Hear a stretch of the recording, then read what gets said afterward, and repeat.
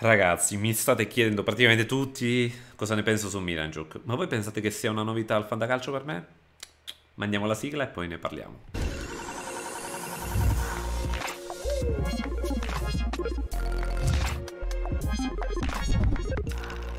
Ciao a tutti ragazzi, bentornati da Carmi Special. Innanzitutto volevo ringraziare tutti coloro che stanno sostenendo il canale, questa serie, soprattutto molto seguita. Mi auguro poi non abbandoniate il canale anche nel periodo infernale. E ringrazio appunto tutti coloro anche che si stanno unendo alla nostra community, molto attiva, anche tramite commenti, mi raccomando. Eh, vi ricordo di passare anche dei link che trovate in descrizione, tra i quali c'è quello per scaricare OneFootball, applicazione gratuita che vi terrà aggiornati su tutto il mondo del calcio, soprattutto in questo periodo di calciomercato per i fan allenatori è importantissimo. Intanto sono andato anche a prendere un articolo all'interno del sito che eh, riguarda un certo giocatore del quale mi state chiedendo.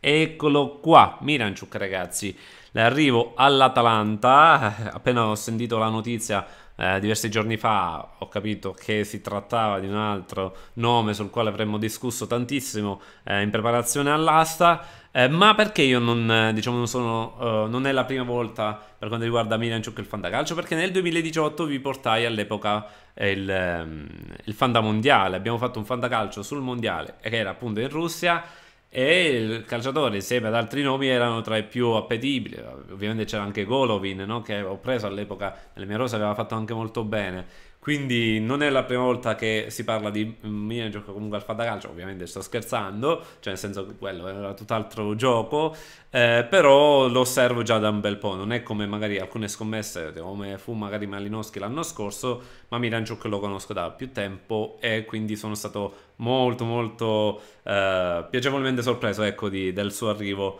in, in, Serie A, quindi attenzione, ne parlerò comunque adesso nell'episodio. Io vi lascio comunque il link in descrizione, qui c'è anche l'articolo dell'annuncio e il tutto, ci sono vari articoli interessanti, non solo sul Milanchuk ma anche sull'Atalanta, trovate veramente di tutto, link in descrizione. Ringrazio anche tutti coloro che si stanno abbonando al canale, scrivetemi poi in privato per essere aggiunti al gruppo Telegram degli abbonati, anche per quanto riguarda i sub. Ho mandato anche l'email a tutti coloro che sono abbonati ieri al canale eh, Twitch, perché appunto eh, io faccio aggiungere al gruppo Telegram e tra l'altro stasera saremo in live dalle 21 circa. Va bene, detto questo non perdiamo troppo tempo ragazzi, dai, andiamo eh, con il terzo episodio del vi consiglio al fantacalcio. Allora, Partiamo sempre con le giuste premesse, sono analisi provvisorie, ragazzi, mi raccomando, fatte al 31 d'agosto, quindi mi raccomando, prendetele con le pinze. Partiamo? Via, dai. Si parte con l'affidabile Donnarumma, ragazzi, il portiere del Milan. È un portiere affidabile? Assolutamente sì. Buono per rendimento, nel senso buono per modificatore. Ha sempre delle buone prestazioni, anche quando magari subisce qualche gol, magari fa una buona prestazione, quindi nel, comple nel complesso non prende un'insufficienza grave. Ovvio, ogni tanto ci sarà magari la giornata no ma in più è un pararigore. L'abbiamo visto anche questa stagione, è stato poi clamoroso. Se non sbaglio, ne ha parati ben 4, quindi è stato utile anche per portarsi a casa diverse giornate al fantacalcio. E a livello di acquisto, ragazzi, potrebbe costare tanto quest'anno. Eh, se riuscite a portarvelo sotto il 6%, quindi sotto i 30 fandamilioni su 500, quindi un 25, questo già è un buonissimo prezzo. Eh, la difesa del Milan si è solidificata un po', no? Con Kier che è migliorato molto, accanto a Romagnoli, insomma, potrebbe rendere abbastanza bene perché quando parliamo di portieri al fantacalcio dobbiamo considerare ovviamente la difesa che hanno davanti. E si è un po' solidificata, quindi secondo me eh, potrebbe essere il terzo nome ecco, del fantacalcio, quindi se ve lo portate a casa sotto i 30 crediti, quindi a 25 anche meno, addirittura su 500 già sarebbe un ottimo, un ottimo acquisto. Passiamo invece all'inaffidabile. Paolo Lopez, quindi restiamo sempre nel reparto della porta. Paolo Lopez, ma inteso anche come portiere Roma, perché comunque col calciomercato potrebbe variare un po' la situazione. Voi monitorate il tutto, però ragazzi perché l'ho messo in inaffidabile? Perché lì dietro nella Roma, a parte un po' di trattative, giocatori che vanno, giocatori che vengono, quindi ci sarà un po', no, Smalling che eh, quest'anno appunto era in prestito, non sembra eh, poter ritornare anche se c'è una trattativa a quanto pare in corso. Insomma, ci sono troppe situazioni incerte. E sinceramente io non me la sento di andare a scommettere come primo slot su un portiere che ha davanti una difesa costruita un po' in maniera così quasi random. Quindi non mi convince questa, questa, cosa, questo reparto della Roma. Altri reparti offensivi magari sì, ma la porta non mi convince. Quindi ci sono troppe incognite in difesa, discontinuità anche di rendimento perché anche lui un po' di errori ogni tanto li ha fatti. Quindi anche la schierabilità complicata. Ovviamente ci si può andare a studiare magari un abbinamento intelligente, ma ce ne sono di migliori, ce ne sono di migliori. Per qualche credito in più magari mi vado a prendere un portiere più affidabile con un reparto davanti più solido. A livello di acquisto quindi sconsigliato se non proprio in saldo. Eh, prezzo massimo vi ho messo 3-4% perché sotto i 15 crediti lo andrei magari a prendere, ma già avvicinandomi ai 20 no, ci sono portieri su 500 intendo, eh. quindi mh, mm, ci sono portieri comunque migliori. Passiamo invece al low cost. Ho messo Simi, però attenzione perché questo è un low cost particolare. In alcune leghe potrebbe avere un prezzo elevato, eh, ma non ve lo consiglio. Cioè, mio l'ho messo proprio nel low cost per darvi una direttiva. Non pagatelo troppo. È comunque un giocatore da avere non nel tridente titolare, ma nella propria panchina. E come vi ho detto, i soldi, soprattutto per l'attacco, li dovete spendere per il vostro tridente. Poi se riuscite anche ad avere dei crediti in più per il quarto o quinto attaccante, va bene, ci può stare ma l'importante è che non investite troppi crediti su giocatori che dovreste utilizzare all'occorrenza. È sempre comunque un attaccante del Crotone, ok? Una squadra neopromossa. Uh, quindi non possiamo sapere il rendimento che avrà in Serie A. Ha fatto benissimo in Serie B, dovrebbe anche essere rigorista, ok? Quindi questo è una cosa, diciamo, una clausola, se vogliamo, che gli fa prendere ancora più appetibilità.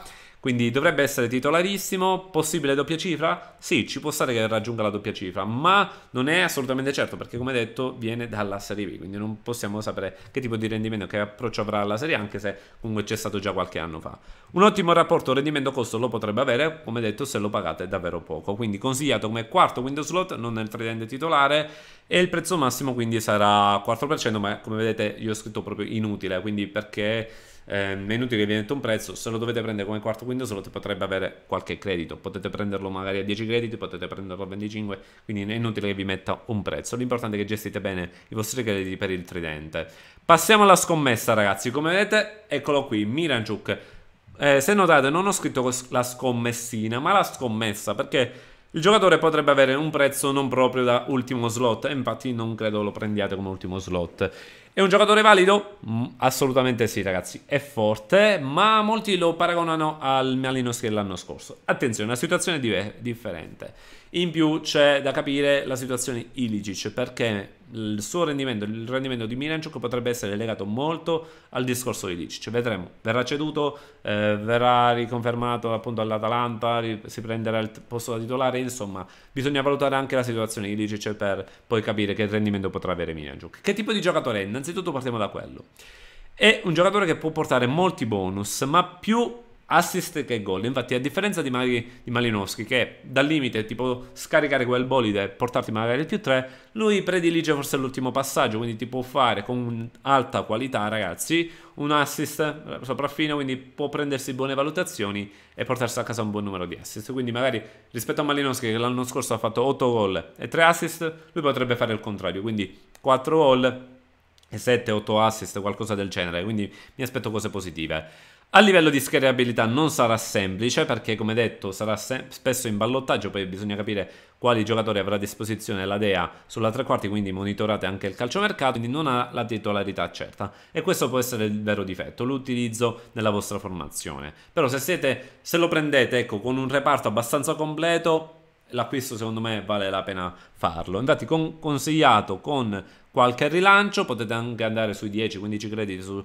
500, un po' come Malinowski a livello di acquisto, come Malinowski l'anno scorso vi avevo consigliato di fare qualche rilancio perché mi ispirava molto. Lui come detto mi ispira un po' di più a livello di assist, infatti per questo non voglio paragonarlo a Malinowski, ma voglio paragonarlo un po' al Papu Gomez, che in questi anni ha fatto più assist che gol. Quindi è un po' simile a lui se consideriamo i bonus che porta. Va bene? Comunque ha un piedino ben educato, i gol li può fare benissimo anche lui. In coppia solo, molti si stanno chiedendo, lo vado a prendere con Malinowski, con Basalic, con chi lo vado a prendere o lo prendo da solo? Lo si può prendere da solo, come detto, se avete un reparto abbastanza completo. Eh, nel, in un video, diciamo, dedicato ai cicciolodi, eh, ne parlerò in maniera più approfondita per il discorso eventualmente coppie, perché ne parlerò in quel video. Non, non vi posso spoilerare nulla perché i miei avversari guardano questo video, quindi lascio un po' di suspense. Passiamo al crack, ragazzi. Paolo Di Bala. L'ho inserito nei crack perché allora, non sappiamo ancora la punta che arriverà alla Juventus. Si parla di Suarez, si parla di Zego, si, parla di... si parlano di tanti nomi, ma ancora non è arrivato nessuno. Una cosa che è certa è che Dybala è all'apice, diciamo, della sua carriera, inteso anche come eh, fisico, come rendimento che ha avuto, anche l'ascesa che ha avuto lo scorso anno eh, a livello di, mm, diciamo, gol. Ecco, quindi dal punto di vista anche prolifico è migliorato tantissimo.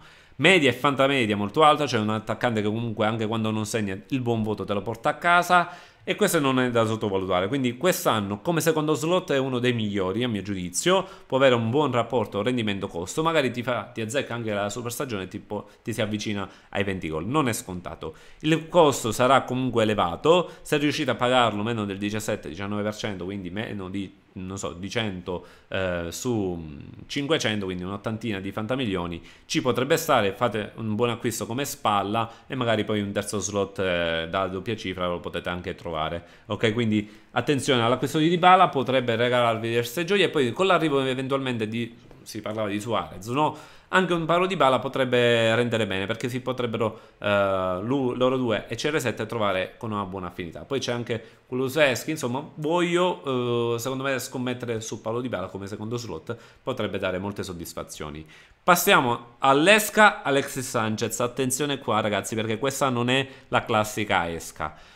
Ci sono due infatti fattori che possono condizionare il suo costo, il momento in cui lo chiamate e la composizione della vostra lega. Infatti vi ho messo interesse da parte di tifosi interisti che magari l'hanno visto giocare bene, ecco, mo passa pure il camioncino dei gelati che ci disturba, Comunque l'hanno visto giocare bene quest'anno, quindi lo vorrebbero magari nella propria rosa. È un nome comunque altisonante, ok? Ma non titolare. Proprio per questo non lo andrei a prendere magari tra i miei tre slot. E quindi se lo andate a prendere come quarto window slot dovete pagarlo poco, non dovete investire quanti crediti. Quindi consigliato se preso in saldo, se lo chiamate prima potete sperimentare l'esca. In genere io le esche le faccio tra centrocampo e difesa perché sono i reparti in cui l'esca funziona meglio. Per l'attacco alla fine non ha più granché senso da fare uh, l'esca se non per qualche nome magari che non volete prendere. Nel caso di Alex Sanchez ve lo potreste anche portare in saldo se lo chiamate anche prima, eh, dipende appunto come è composta la vostra lega, sotto il 3%, 3-4%, quindi un 15-20 milioni ha senso mettervelo in panchina e utilizzarlo all'occorrenza perché le sue buone prestazioni le fa, qualche bonus lo porterà, ma non essendo titolare io non lo andrei a prendere tra i primi slot. In coppia con Lautaro, in lega abbastanza numerose, ci può stare così siete certi di avere un attaccante dell'Inter sempre titolare, quello si può fare, ok? Passiamo a questo punto al top. Teo Hernandez, ho utilizzato come immagine la nostra grafica del nostro store, no? del treno Hernandez. Altissimo rendimento e fantamedia pazzesca, ragazzi. Spinge tantissimo. Anche quando non porta bonus, comunque si porta spesso a casa il 6,5-7. Quindi è buono sia con modificatore che senza, perché comunque ti segna anche diversi gol e ti fa magari degli assist. Quindi avrà un costo elevato. Avrà un costo elevato, vicino sicuramente ai 30 fantamilioni su 500. Eh, però potrete comunque prevederlo. Il suo costo, eh, se effettivamente eh, va, magari siete fortunati che dipende dal tipologia di, di, lega, ok, di asta soprattutto, un'asta random, viene chiamato magari verso gli ultimi nomi, allora lì tenetelo d'occhio e portatelo a casa, magari potrebbe andare via in saldo, 20 milioni ad esempio, 20-25, è un buon acquisto a quel punto, ok? Quindi tenetelo d'occhio. Passiamo alla rivincita, Koulibaly ragazzi, altro difensore, Delusione nella scorsa stagione, quindi potrebbe magari avere un costo all'asta eh, non come quelli precedenti che si avvicinava a 25-30 milioni, ma si potrebbe mantenere intorno ai 20 o addirittura meno. È buonissimo per il modificatore, mi aspetto da lui una stagione più positiva dello scorso anno, anche perché fare peggio è un po' complicato, ma non ai livelli magari degli anni passati dove prendeva 7 fisso. Eh, consigliato anche se non in saldo, quindi intorno ai 20 milioni ci potrebbe stare. Se lo pagate ancora di meno, tanto meglio. Occhio al mercato perché ha un po' di voci di mercato su di lui. Il Napoli comunque si è coperto anche con Rachmani, ha preso comunque eh, a Maximovic e anche Manolas, insomma è abbastanza coperto lì il Napoli, però dovesse restare Koulibaly sarà ovviamente il titolarissimo. Questi erano i nomi del terzo episodio, voglio sapere ovviamente la vostra opinione su questi nomi qua sotto nei commenti, eh, vi ringrazio anche tutti coloro che stanno passando anche dal nostro store, come vedete ragazzi, allora, un attimo ve lo mostro perché... Oltre alle varie classiche, diciamo, grafiche che potete trovare, no? C'è quella per quanto riguarda alcune squadre. Molti ho visto che sono presi quella di Acciughina, quindi così si presentano alla, all'assa con la maglia della propria squadra, c'è quella del Pescaramanzia e dello Scarsenal, quindi se avete la squadra intitolata in questo modo potete darci un'occhiata, c'è quella di Bomber Ciccio Caputo, quella di Lucarro Armato, del Treno Hernandez appunto, quindi dateci un'occhiata ragazzi, e quella di Malinowski, è il, il nostro Maliboom. Comunque... Detto questo ragazzi io vi ringrazio per la visione e ci vediamo come detto stasera intorno alle 21 prima eh, su YouTube e poi ci spostiamo un po' anche su eh, no in realtà sarà per lo più su Carmi Special TV ci saranno gli ospiti gli abbonati appunto ospiti quindi mi raccomando vi aspetto ok? Intorno alle 21 iniziamo va bene? Detto questo vi auguro buona fortuna ragazzi e che dire voglio sapere la vostra opinione qua sotto nei commenti. Un bel like non farebbe male. Ciao ragazzi